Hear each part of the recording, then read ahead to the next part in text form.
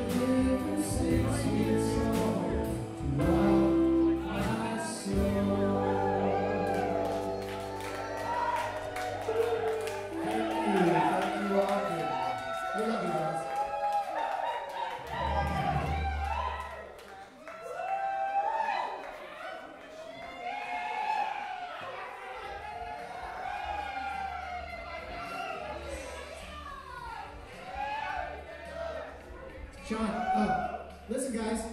This just came up like yesterday. Snowbird Ski and Summer Resort